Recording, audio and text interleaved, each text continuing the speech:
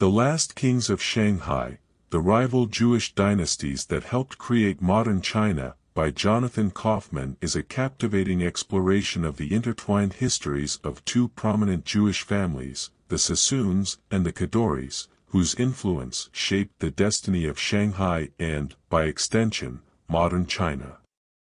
In this literary analysis, we will delve into the book's central themes, characters, narrative structure, and historical significance. Kaufman's narrative is an illuminating journey through time, set against the backdrop of Shanghai's transformation from a quaint fishing village into a bustling metropolis. At its core, the book is a testament to the power of resilience, adaptation, and entrepreneurship in the face of adversity. The Sassoon and Kadoorie families, Jewish immigrants of Sephardic and Baghdadi origins respectively, arrived in Shanghai during the tumultuous 19th century. The author skillfully portrays their rise to prominence as they navigated the intricate web of Chinese politics, international diplomacy, and global commerce.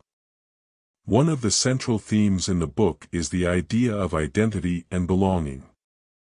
Kaufman expertly portrays how these two Jewish families, despite their foreign origins, became deeply integrated into the fabric of Shanghai society.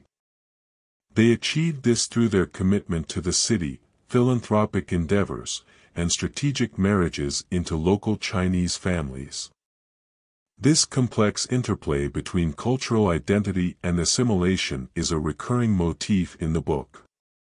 Kaufman also delves into the concept of family and legacy. Both the Sassoon and Kadoorie clans operated as tightly knit units, with patriarchs like David Sassoon and Eli Kadoorie at the helm. These family dynamics play a crucial role in the narrative, highlighting the sacrifices and challenges faced by individuals who were not only building business empires but also nurturing familial bonds.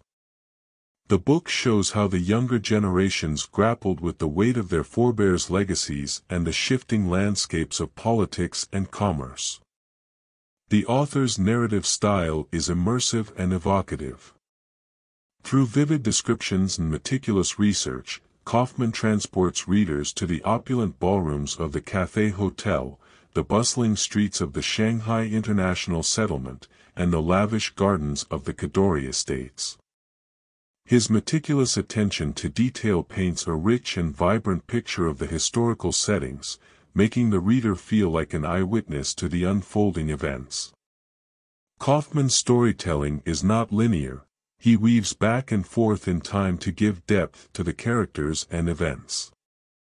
This nonlinear narrative structure adds layers to the storytelling, gradually revealing the motivations and inner workings of the protagonists.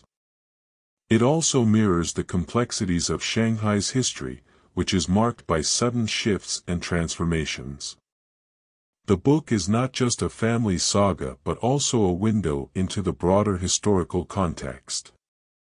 Kaufman skillfully connects the personal stories of the Sassoons and Kadoories with the larger historical events of China and the world. From the Opium Wars to the Chinese Revolution and the Japanese occupation, the family's fates are intertwined with the ebb and flow of China's tumultuous history. This contextualization gives readers a deeper understanding of how these families played a role in shaping not only Shanghai but also China's trajectory. The Last Kings of Shanghai is a compelling narrative that sheds light on a lesser-known chapter of history. It invites readers to ponder questions of identity, legacy, and the intricate dance between individuals and the historical currents that sweep them along.